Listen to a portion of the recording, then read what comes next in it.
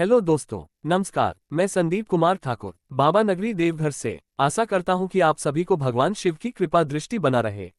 तो दोस्तों, आज हम बात करेंगे कि सोते समय बेड के नीचे क्या रखें कि आपको सफलता मिले। तो दोस्तों, चलते हैं वीडियो की ओर। सोते समय सिरहाने इन दस में से एक चीज़ रखने से मिलेगी सफलता। पानी का लोटा। आप अपने सिरहाने तांबे के लोटे में पानी भरकर रखें। और सुबह उसे किसी पेड़ पौधे में डाल दें, ऐसा करने से सेहत में लाभ मिलता है।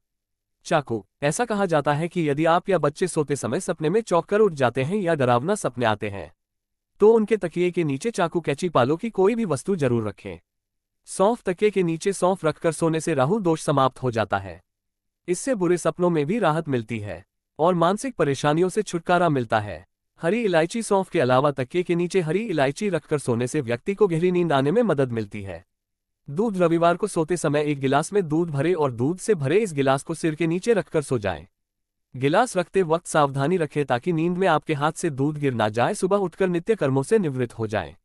इसके बाद इस दूध को ले जाकर किसी बबूल के पेड़ की जड़ में डाल दें सात रविवार तक यह उपाय करने से आपकी धन संबंधी समस्याएँ दूर होंगी लहसुन लहसुन को सौभाग्य का प्रतीक माना जाता है यदि आप लहसुन की कुछ कलियाँ अपने तकिए के नीचे रखकर सोते हैं तो आसपास सकारात्मक ऊर्जा का संचार होगा और अच्छी नींद आने में मदद मिलती है। उसे जेब में रखकर सोने से भी सकारात्मक ऊर्जा का संचार होता है। सिक्का अगर आपको किसी रोग ने घेर लिया है तो सोते समय अपना सिरहाना पूर्व दिशा की ओर रखें। वहीं अपने सोने वाले कमरे में एक छोटी कटोरी में सैदा नमक वो सिक्का रखें, आपकी सेहत दुरुस्त रहेंगी।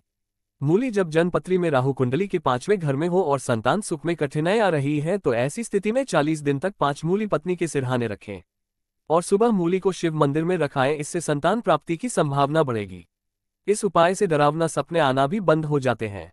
सुगंधित फूल सोने के पूर्व तकिए के पास सुगंधित फूल रखकर सोए, इससे शुक्र का प्रभाव बढ़ता है। और नींद अच्छी जाती है, इससे मानसिक शांति मिलती है और वैवाहिक जीवन अच्छा रहता है। साथ ही ये किस्मत चमकाने वाला उपाय भी है, आभूषण सोते समय यदि आप अपनी सिरहाने के नीचे सोने अथवा चांदी का आभूषण रखकर सोते हैं तो इससे मंगल दोष दूर होता है तथा इसके शुभ प्रभाव मिलते हैं।